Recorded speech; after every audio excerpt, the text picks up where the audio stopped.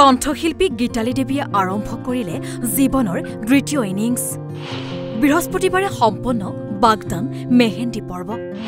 গীতালীয়ে বিচাৰিছে অসমবাসীৰ মৰম আৰু আশীষ। গীতালী বুলি ক'লে হয়তো নতুনকৈ চিনাকি কৰি দিয়াৰ প্ৰয়োজন নাই। বহু জনপ্ৰিয় গীতত কণ্ঠদানেৰে অসমবাসীৰ হৃদয় চিনিবলৈ সক্ষম হৈছে গীতালীয়ে। বহু যুৱকৰ হৃদয়ত আলোড়ন তোলা গীতালীৰ হৃদয়ে কিন্তু আঁকোৱালি লৈছে সুমিত সাগৰকহে। গীতালীৰ হাতত জিলিকিছে সুমিতৰ নামৰ মেহেন্দী। সুমিতৰ হাতে হাত ধৰি জীৱনৰ দ্বিতীয় ইনিংছ খেলিবলৈ সাজু গীতালী দেৱী। গীতালীৰ দুচকুত এতিয়া ৰামধেনু বুলিয়া সপোন। সুখৰ সংসাৰৰ আৰম্ভণিলৈ মাজত মাত্ৰ কেইটামান সেদিন মৰমী লগৰী নাযাবা আঁতৰি কলপুলিৰ তলেৰে সুমিতৰ কাষলৈ অচিৰেই যাব গীতালী।